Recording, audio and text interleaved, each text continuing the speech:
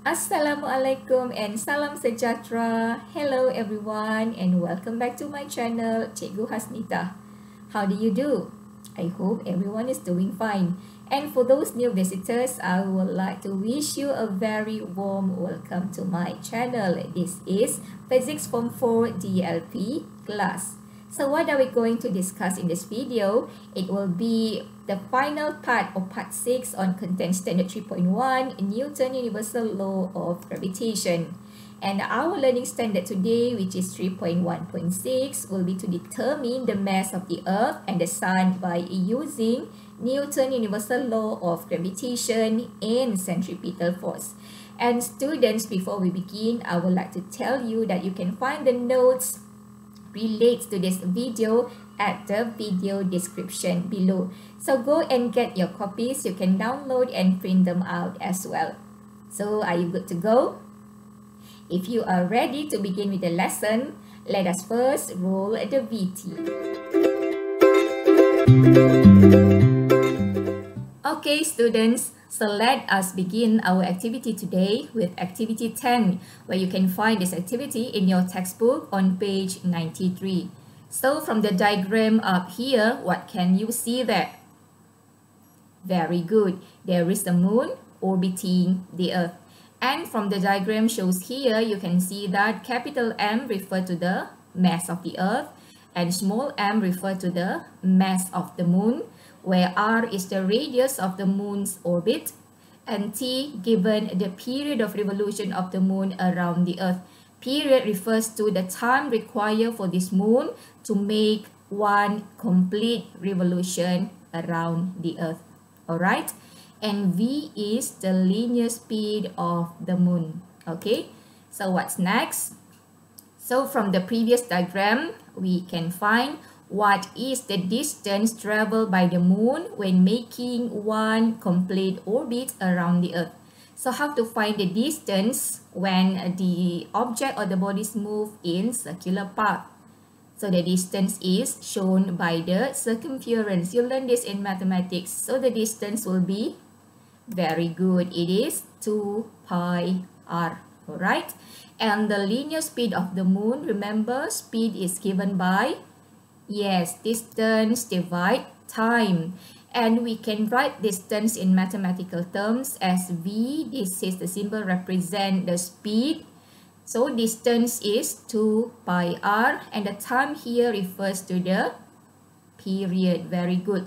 So we write v as 2 pi r divide t. Okay. So what's next? So if you look at these two equations, so how from Newton's universal law of gravitation and centripetal force, we can derive a single formula in order to find the mass of the sun and also the mass of the earth. So let's do this together. All right. Do you remember the formula for universal law of gravitation? We learned it earlier in the first part of this chapter. It is very good. F equal G mm divide R squared. Okay, and for centripetal force, we just learned it in the previous video, part 5, remember? So what is the formula for centripetal force? Very good, it is F equal mv squared divide R. Okay, and when we equate these two equations, so what will it become? So since they are both F so we can write on the left side G mm divide R squared will be equal to mv squared divide R. Okay, so I hope you get it uh, until this point. And if you look at these two equations, we can cancel the common factor at both sides.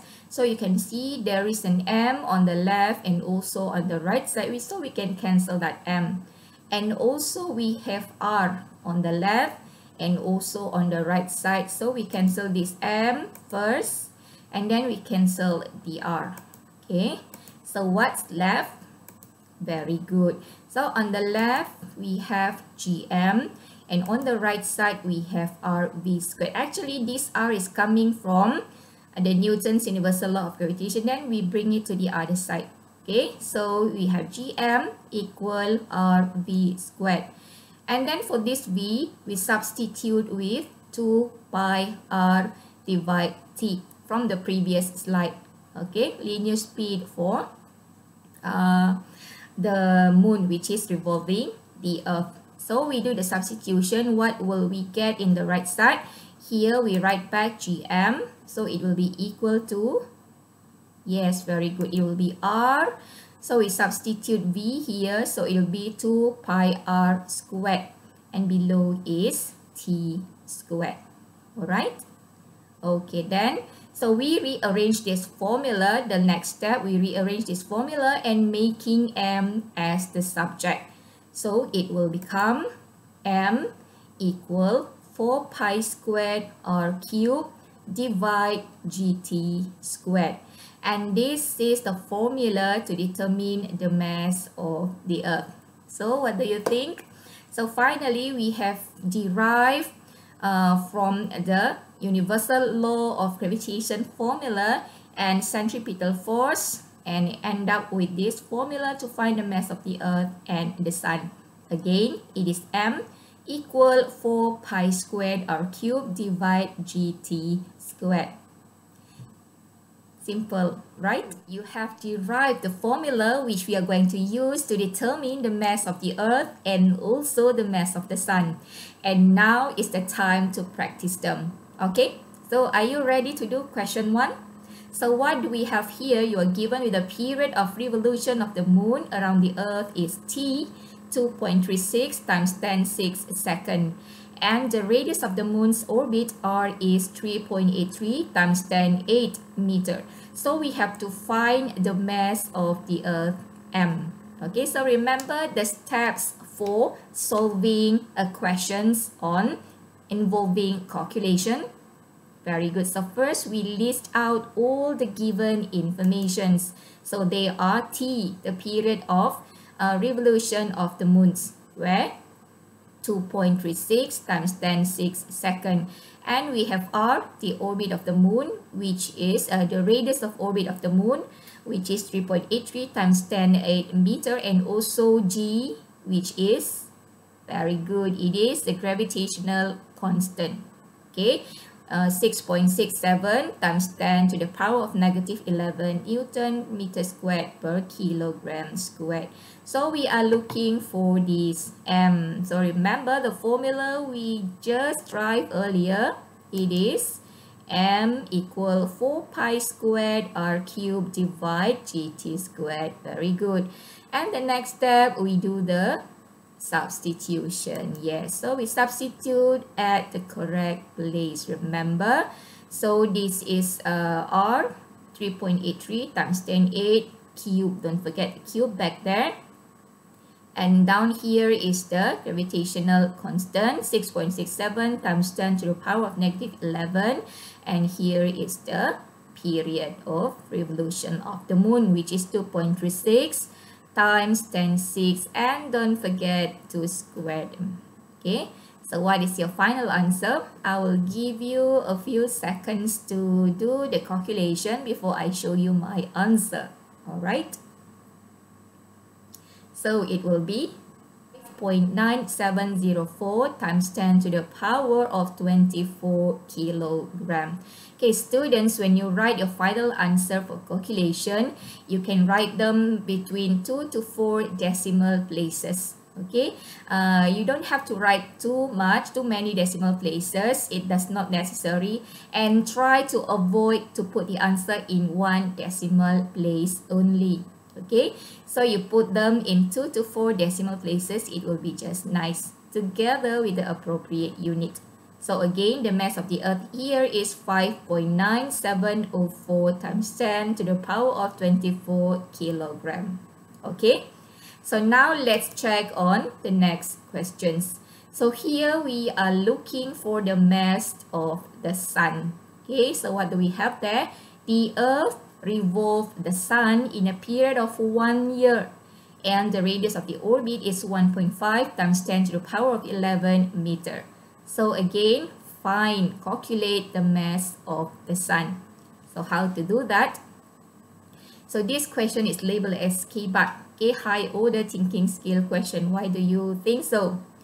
If you read the information properly, here the period is given in one year. Okay, so there is the trick.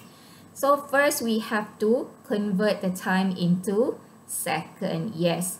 So one year 365 days so one days we have 24 hours one hour we have 3600 seconds and then given the radius of the orbit 1.5 times 10 to the power of 11 meter and again this is the yes gravitational constant so we are looking for this m mass of the sun so the second step yes we write the formula to be applied where m equal 4 pi squared r cubed divide gt squared. Very good. And the next step is substitution. Yes. So you substitute r, g, and t. And don't forget the cube and the period, uh, the squared as well. Okay, for r and t. So what do you get? The mass of the sun here. Okay. Come on, work with your calculator and later compare your answer with mine. Do we get the same answer or not? Alright. So what is it? Very good. So the mass of the sun here is 2.0086 times 10 to the power of 30 kilogram. And again, you may leave your final answer in between 2 to 4 decimal places together with the appropriate unit. Alright? So I hope you're happy with question 1 and question 2. And most important, you are clear how to find the mass of the sun and the mass of the moon. Uh, sorry, the mass of the earth. Alright. So what can we conclude from today's exercises? Number one, what is the formula to determine the mass of the earth and the sun? So it is, yes, m equal 4 pi squared r cubed divide gt squared.